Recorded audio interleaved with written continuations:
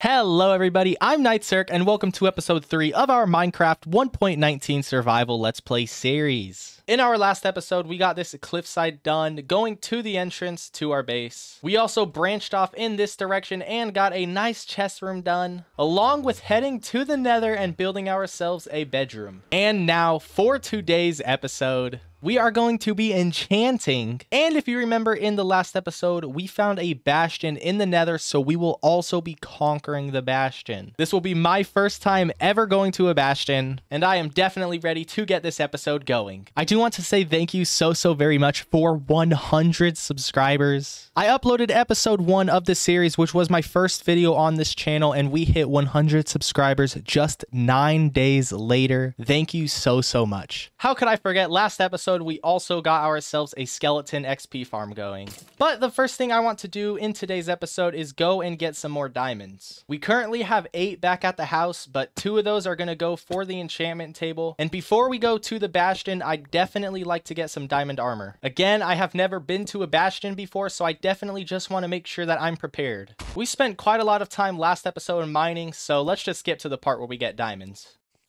Respiration 3. We are now on level negative 59. I'm just going to continue on branch mining until I get around 20 diamonds.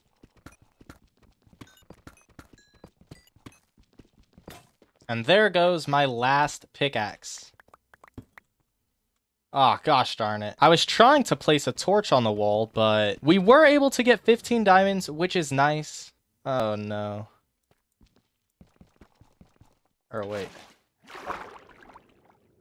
Oh, I was aiming for about 20. 15 is just right about there. And I have six diamonds back at our base that we can also use for armor or tools, which what I mainly want to do is make one diamond pickaxe, possibly two, and make some diamond armor, just so I'm ready to head into the bastion. And with these diamonds, I first want to make a diamond pickaxe. I would also love to have a chest plate, and I think we'll also get some leggings and then might as well do another pickaxe. Only so we can have one silk touch pickaxe and one fortune pickaxe, hopefully if the enchantments go right. And then we'll have two big pieces of diamond armor that we will also enchant. But before we enchant, we gotta work on the build for our enchantment room. And I got a comment saying that I should build a mushroom. I'm going to be building a mushroom that our enchantment setup is going to go in. That was from a comment from one of you. And as I say in every episode, if you have any builds or ideas for for the series, please be sure to let me know down in the comments. I would love to use your ideas more and more in this series. I think what I'm going to do is branch off in this direction and clear out a room where I'm going to try and transform that room into the inside of a mushroom. And on the inside of that, we will have our enchantment table.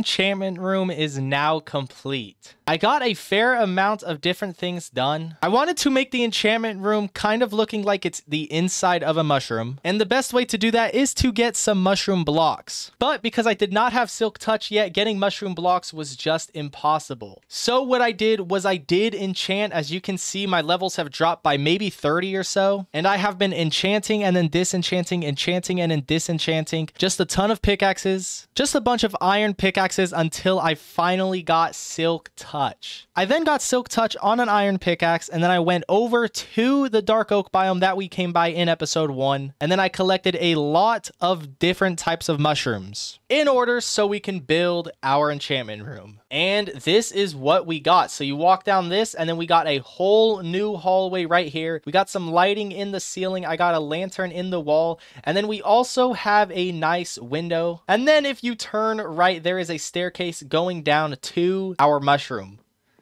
And here we go.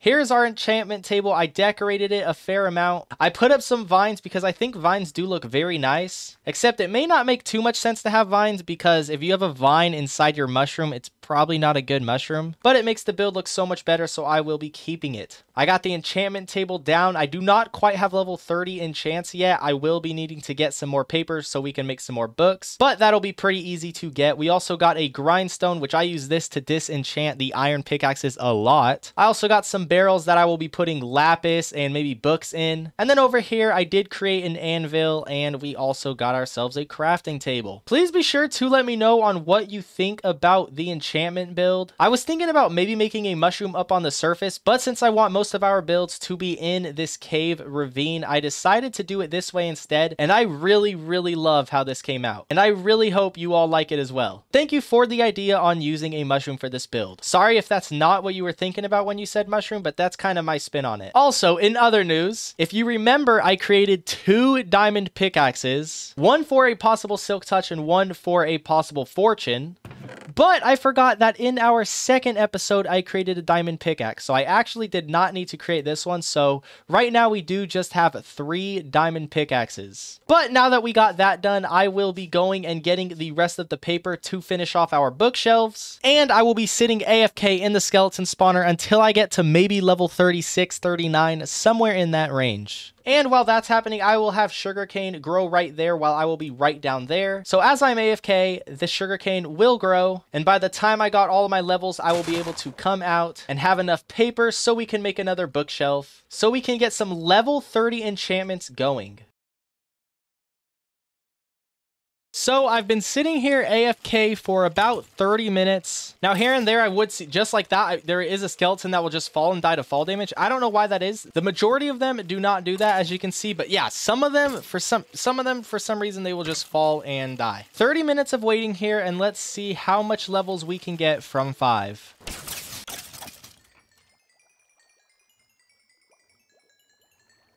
Okay, up to level 16. So I will be sitting here for maybe 30 to 45 more minutes.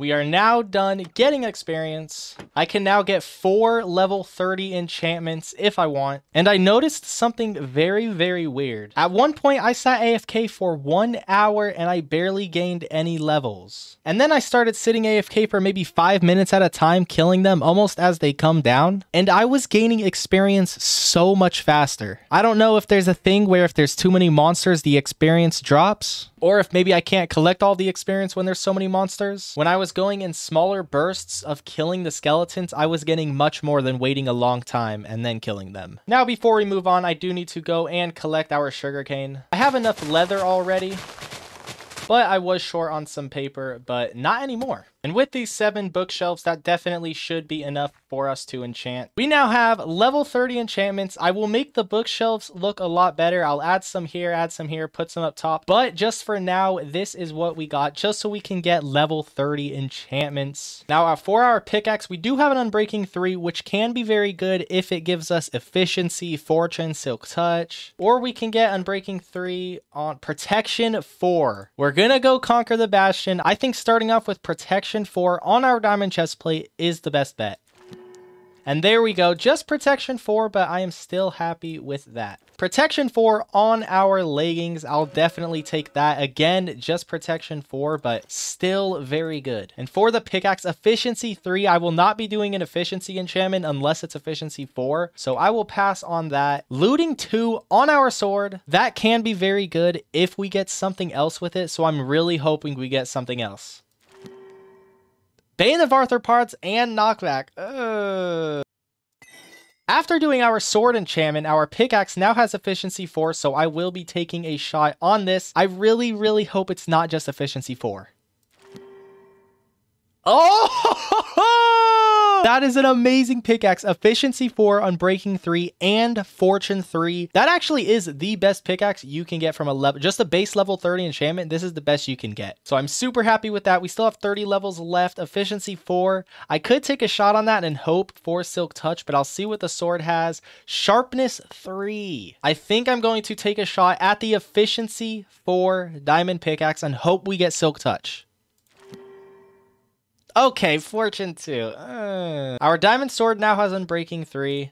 And our third pickaxe has Unbreaking 3 as well. Overall, I am pretty happy with what we got. We got a Protection 4 chest plate, a Protection 4 leggings, and an Efficiency 4 Unbreaking 3 Fortune 3 pickaxe, which is crazy. I was debating on disenchanting this, but I think I'll keep it and just use this pickaxe to clear out rooms because I definitely will need a workhorse pickaxe just to clear out space since we're always going to be digging into our cave ravine. I definitely need to make sure that I am wearing gold while I'm in the nether. So we will be wearing a golden helmet. I think we now have everything we are going to need. And here we go, going to the Bastion we found in our last episode. Again, I have never explored the Bastion or even been to a Bastion before. Now, I did go here a little earlier today, but I didn't explore. I just kind of reinforced our little bridge. And then I was down there and I was looking for some mushrooms just so like I can get some mushrooms, bone meal them, and then use that for our enchantment build. But I wasn't able to find any mushrooms here. And since I was able to go to the dark Dark Oak Forest, I was good on the mushrooms. I have not broken into this, but I do see like a little entrance.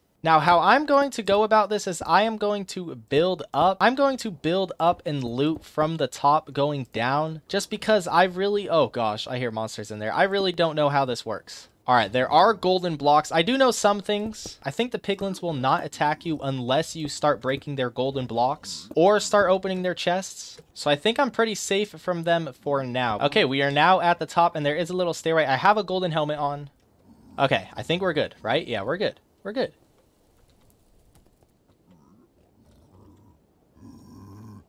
There's another one. Yeah, I think we're good. Oh gosh! Oh gosh! Okay, we were not good. That's my first death of the series. I did not think I would get attacked as long as I was wearing gold and as long as I didn't take their loot. But I guess the ones with the axes just attack you straight up. I wish I would have known that. Looks like we have to be more safe than we were.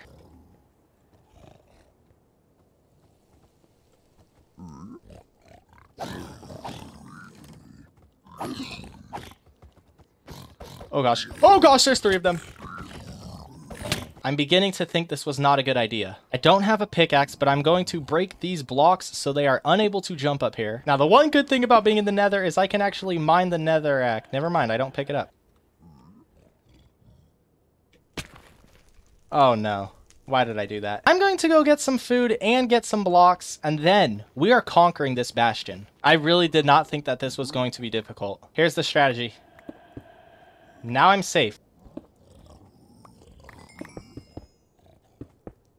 Think I have everything back now. Now it's time to conquer.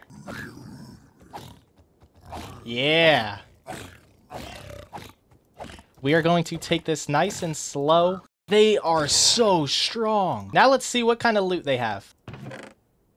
Golden carrots, that can be helpful. Whoa, I've never seen this block before. Okay, let's make our way down. We made our way pretty far down and I did not see anything. We are now back at the top. I'm now going to go back to where I saw those gold blocks. I do hear them. They are really close. Okay, here we go. Whoa, what?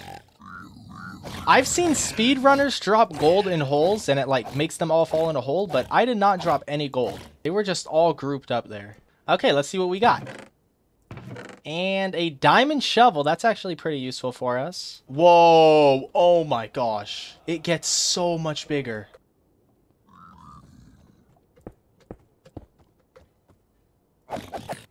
Oh gosh. Okay, there are a lot down there. I see none around this level. I see a chest. Okay, let's see what kind of loot is in the chest. An iron sword with mending and an iron sword with smite. Soul speed 1 could be pretty good. I really, really do not want to die at this point because we're actually pretty deep into the bastion. Oh gosh.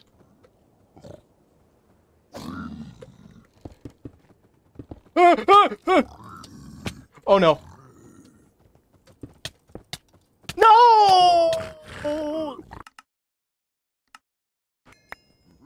Okay, we got all of our loot back. Wow. So I did switch the difficulty to peaceful. I'm sorry if that's kind of like me cheating, but I've died three times already, and I, I, I and we have some pretty bad news because this piglin picked up my diamond armor. I'm gonna take out the piglin, and I'm just going to hope he drops the armor. Okay, he did drop the armor. He look at all the loot. He had all my stuff. But this does make me need to ask a serious question. If you all want, I can make a rule where I am not allowed to change the difficulty no matter what. Now, this whole time I have had the difficulty on hard, but as you can see right now, I've died three times already. Things are just clearly a bit too difficult for me. So let me know if you think I should not be able to switch the difficulty at all. In the settings, there is a little lock where I can lock it there. I switched it to peaceful right now. It's been on hard. If you guys want, I can lock it on hard because I do understand if switching the difficulty to peaceful kind of seems like cheating, but just please be sure to let me know if you want me to lock the difficulty on hard or maybe lock the difficulty on normal. I did leave the Bastion. I did not loot anymore. I did see a couple other chests and a lot more golden blocks, but I did not take any of that. But I do think this is pretty important, so please let me know what you think I should put the difficulty at. If you think I should lock it at a difficulty, the difficulty is now going back on hard. Or maybe if you want a rule where after I die a certain amount of times, I can switch it to easy, but I cannot switch it down to peaceful. Please be sure to let me know because I do think this is going to be pretty important for the series carrying on. Because right now we aren't in hardcore, so dying definitely is going to be a part of this Let's Play. But after dying three times within like 20 minutes, it shows that was just a little too difficult for me. But my thoughts right now are I will keep it on hard difficulty, except maybe after three deaths, I'm allowed to switch the game to easy, whether it be I'm fighting the Wither or the Ender Dragon. Those are my thoughts without your input, so please, I would love to see what you think. If the majority of you are saying that I should keep it on a certain difficulty or whatever the rule might be, that is what we will go with. But if the comment section is pretty split, I think I'll make my decision out of maybe the top two responses from all of you. As I said, I want this to be a very interactive series, and this is a pretty big spot where I'd love to get your input. But on that note, that is going to be the end of today's episode. If you did enjoy, please consider subscribing and leaving a like if you have not done so already. Thank you all so, so much for 100 subscribers. It seriously does mean a lot. I uploaded my first video on this channel 10 days ago from when I'm recording this, and to see this crazy support is just, and I seriously thank you all for that. Again, please be sure to leave a comment on your thoughts about the whole difficulty thing.